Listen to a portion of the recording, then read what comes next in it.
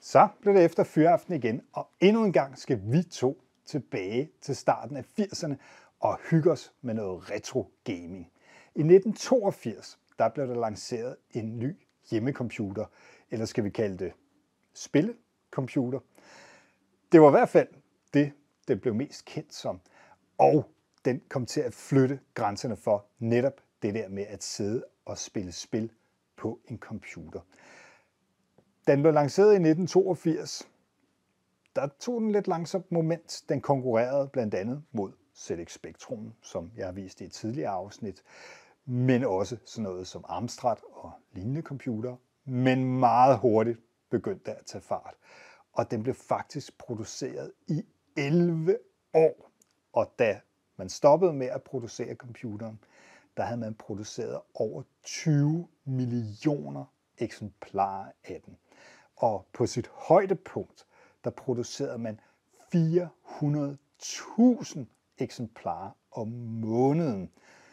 Til sammenligning kan jeg så lige fortælle, at i dag på Foxconn, som er Apples kinesiske fabrik, eller i hvert fald den fabrik, der producerer mobiltelefoner for Apple iPhone, der laver de altså omkring 400.000 iPhones om dagen.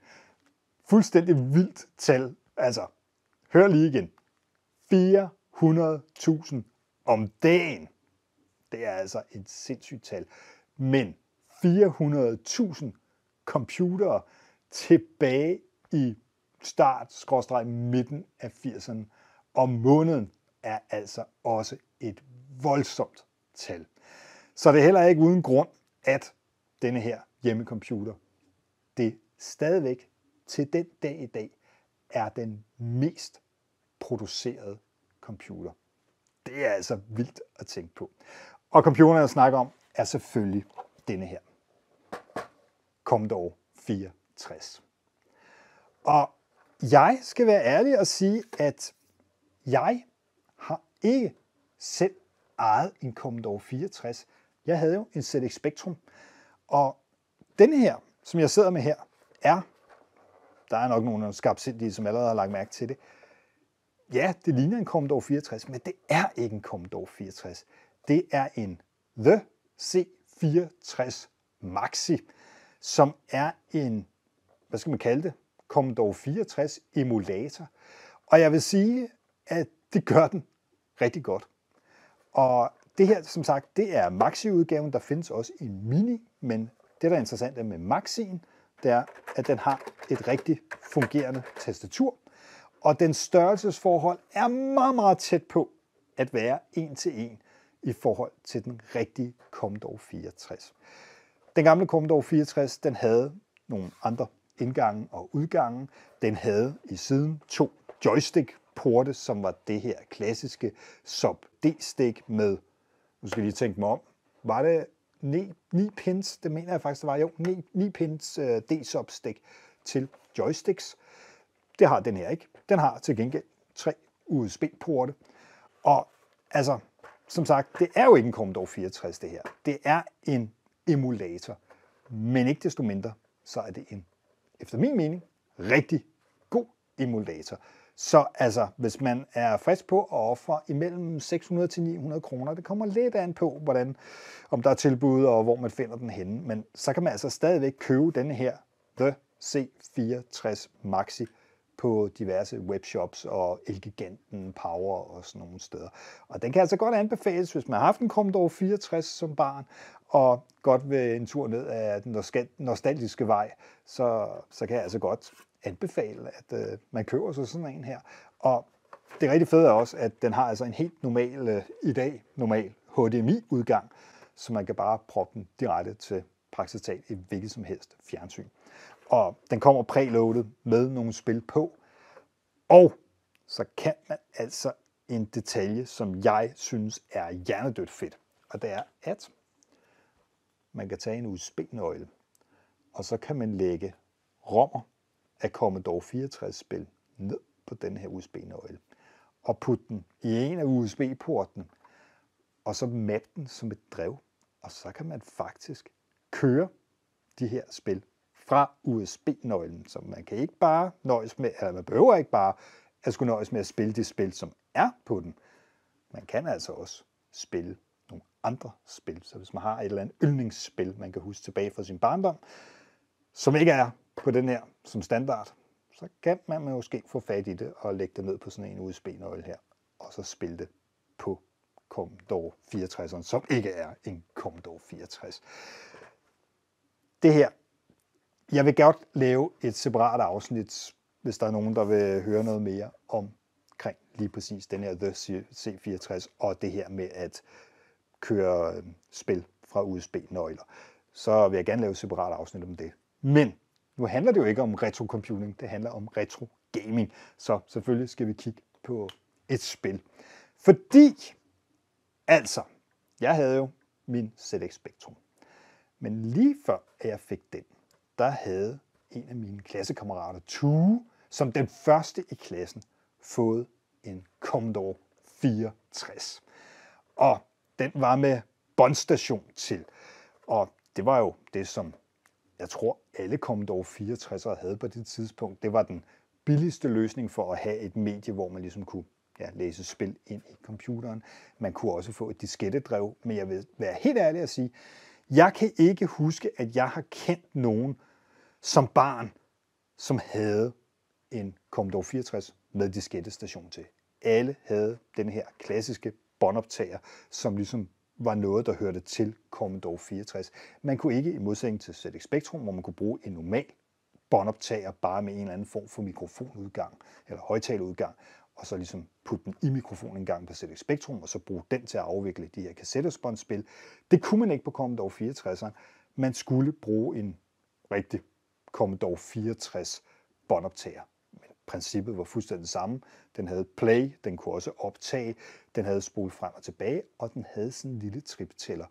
Og nu kommer vi altså over til, at jeg sidder hjemme hos Tue og ser hans Commodore 64 og var meget fascineret af denne her. Og vi ser den her klassiske basic-skærm, som Commodore 64 ligesom præsenterer, hvor den også viser, at den har 64 kilobyte RAM. Og jeg kan huske, at vi sidder der hjemme hos Tue i hans forældres stue på gulvet foran deres fjernsyn med Commodore 64'eren og kassettebåndoptageren, og så alle de her bånd og den her liste over, hvad der var at spille på de her bånd. Men de her navne, der var på listen, sagde os jo ikke noget som helst, så vi besluttede os for, jamen, vi tager bare et af kassettebåndene, og så vidste Tue mig ellers, hvordan man loadede kassettebåndet og spolede båndet tilbage til starten, og så nulstillede båndoptageren. Og så øh, startede han ellers Commodore 64'eren og lavede den her, jeg kan ikke huske, var det, var det Commodore-tegnet og L eller et eller andet. Der var en eller anden kombination, man kunne lave, i stedet for at det stedet skulle skrive load og sådan noget. Men i hvert fald, det der havde han styr på. Og han gør det, starter båndoptageren, og så sidder vi ellers pænt og venter. Og jeg kan huske, at jeg følte som om, det var en evighed, før at der skete noget. Og det helt sindssygt er, at jeg kan huske, at jeg sidder der utålmodig og stiger på triptælleren på den her båndoptager, som langsomt kravler fremad fra de her 3 gange 0 og så ellers derudad. Og altså, lige før, at vi når til 008. Jeg kan huske det der med, det er sådan lige ved, at den har ramt 0008 triptælleren der. Så kommer de her kulørte striber i siden af skærmen. Og da vi har siddet og ventet i en rumtid endnu, så kommer det her spil. Spy Hunter. Og jeg kan simpelthen huske det, som om det var i går, desværre, hvordan at vi stod der, to knægte på 7-8 år, hjemme i hans forældres stue og spassede fuld fuldstændig ud. Vi kunne simpelthen ikke rumme, hvor sej den der titel var. Altså, Spy Hunter, øj, det lød simpelthen bare så sejt, altså. Og så kan du næsten forestille dig, hvordan vi flippede endnu mere ud, da vi så fandt ud af, at spillet egentlig er baseret på de to største film- og tv-succeser på det tidspunkt der i starten af 80'erne, nemlig James Bond og tv-serien Night Rider med denne her selvtænkende bilkit. Så altså, vi var helt op og køre over det her spil. Og ja, skulle vi ikke øh, tage hul på det? Og jeg vil så lige tilføje en enkelt ting. Fordi jeg kan huske med det her spil, hvis jeg nu kan få lov til at starte det. Den står og siger game over. Sådan der. Jeg kan vælge imellem keyboard og joystick. Og jeg kan faktisk huske, at vi brugte en evighed på at finde ud af at få tilsluttet et joystick.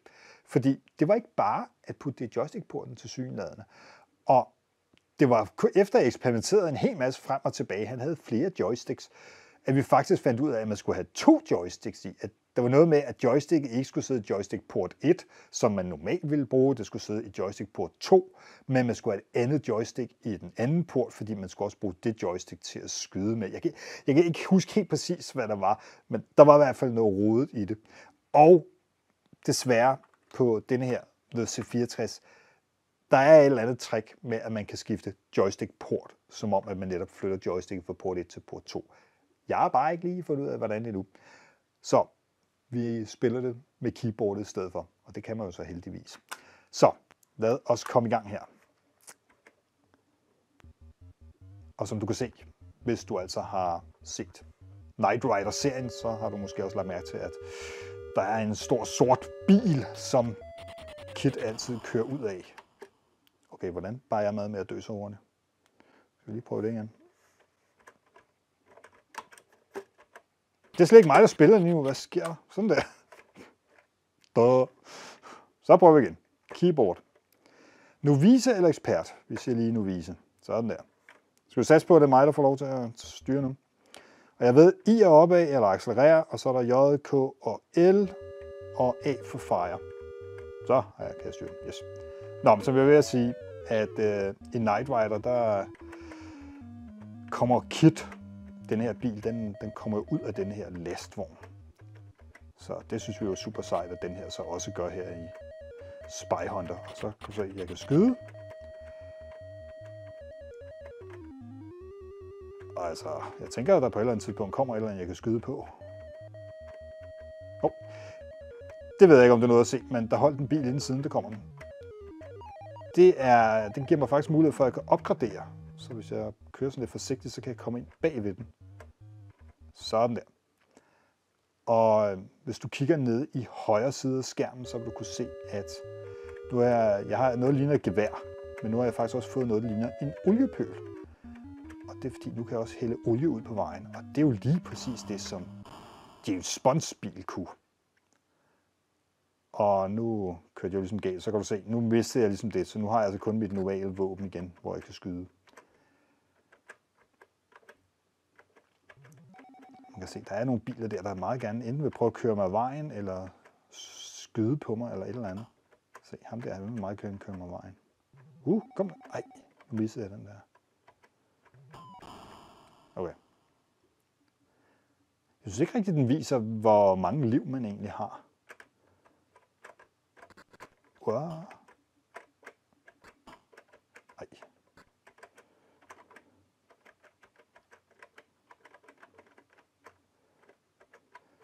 Broen er ude, stod der. Gjorde der ikke?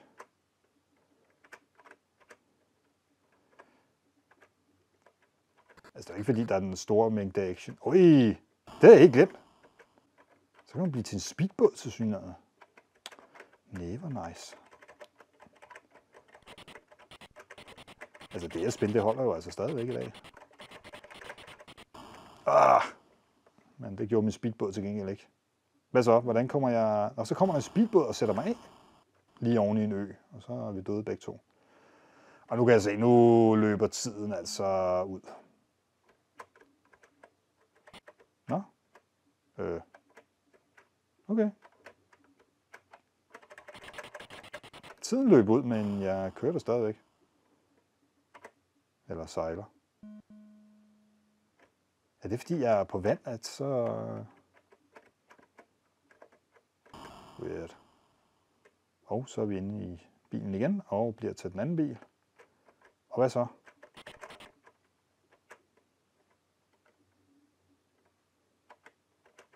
Hmm. Ej, hold op med det her.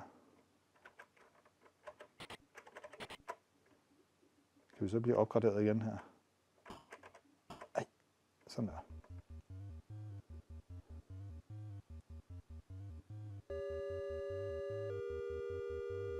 Jeg synes, altså jeg husker det som om, det var betydeligt sværere at spille. Øhm, men øh, ja.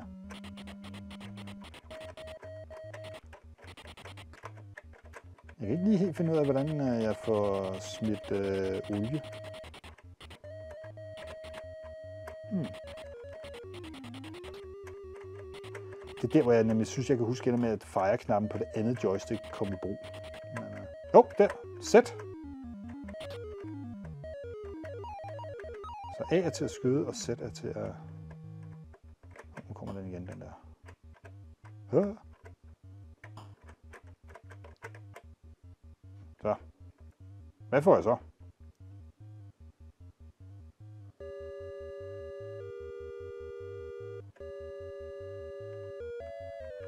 Og nu får jeg olie. Og så var der andet måske røg. Nå, og nu mistede jeg det hele. Og så er jeg game over. Nå, som sagt, altså jeg synes, jeg husker det som om, at, øh, jeg, øh, at vi kæmpede betydeligt mere med overhovedet at, at kunne spille bare noget, der lignede fornuftigt i, i det spil der. Men det var måske det der, som jeg sagde med, at vi kunne ikke rigtig finde ud af det der med, øh, hvilke joystick skulle gøre hvad, og hvordan og hvorledes. Og så måske også, fordi vi bare var så meget op at køre over det her med, at det var, ja, Knight Rider, og det var James Bond, det var det hele på, på én gang. Altså, ja. Nå, jeg vil lige starte det at spille forfra, for jeg vil faktisk vise dig noget. Hvordan gør man det? Skal vi bare lave den hårde, og så lige kvitte den her emulator. Nu kan du faktisk se, det er sådan her, som øh, C64'ernes menu ser ud. Og det er jo ikke sådan normalt en Commodore 64, den rigtige ville se ud. Man kan faktisk ændre det, så den ikke har denne her karusel-menu, men man faktisk har den rigtig basic på skærmen, og så derigennem kan skrive load og sådan noget. Men altså, igen, nu bruger jeg den primært til at sidde og spille på. Men muligheden er der. Se, jeg kan vælge USB-nøglen hernede. Det er jo så den, jeg har sat ind i siden her. Og vi tager lige Spy Hunter og starter igen. Og der kan du se, der kommer den der load. Sådan der. Prøv lige at lægge mærke til en ting. Nederst på skærmen. Bally Midway. Bemærke det navn, fordi det navn, det er altså stadigvæk ret kendt den dag i dag inden for spil. Men dog ikke øh, computerspil. Primært faktisk inden for flipper. De er nemlig rigtig store, hvad angår flipperspil, altså pinball. Så, men ja, de har altså også lavet computerspil og navnlig arkadespil, fordi denne her Spy Hunter, det er jo en port fra arkadehallen. Og jeg, jeg har aldrig spillet det her i arkadehallen, før at jeg så det på Tues Commodore 64. Men et par år senere nede i vores lokale slikbutik, hvor vi havde en 5-6 arkademaskiner stående, der stod der lige pludselig Spy Hunter. Og jeg vil sige, Spy Hunter, sådan som jeg husker det i hvert fald, i arcade-versionen, er noget bedre end der på Commodore 64. Men det ændrer altså ikke på, at Spy Hunter var det allerførste spil, som jeg nogensinde spillede på en Commodore 64. Det var dog ikke min egen Commodore 64, for jeg kommer aldrig til at eje en Commodore 64. Men nu har jeg jo denne her, The C64 Maxi, som i min verden er helt fin, når det kommer til retro gaming. Og igen, jeg vil også anbefale den til dig, hvis du synes, at det kunne være sjovt at sidde og spille nogle af de gamle Commodore 64-spil. Og ja, selvfølgelig kan du bare downloade en eller anden emulator, og så køre den på din PC for eksempel. Det vil også fungere helt fint. Men jeg har sådan lidt, det er altså mere nostalgisk at sidde med noget, der ligner den gamle brødkasse, som man jo netop kaldte Commodore 64'eren, og spille spil på den. Nå, det var en præsentation af mit første Commodore 64 computerspil. Og en lille historie om nogle hyggelige timer hjemme hos Tue. Jeg håber, at du synes, at det her det var lige så hyggeligt at sidde og se. Og igen, hvis der er nogen spil, du har spillet på Spectrum, eller Commodore 64, eller Amiga, eller PC, eller noget andet, som du synes, der kunne være interessant at kigge på, eller bare lige vil fortælle, at det kunne du faktisk rigtig godt lide at spille, det er noget, du har haft rigtig mange hyggelige timer med, jamen så hører jeg rigtig gerne fra dig. Tak for, at du kiggede med.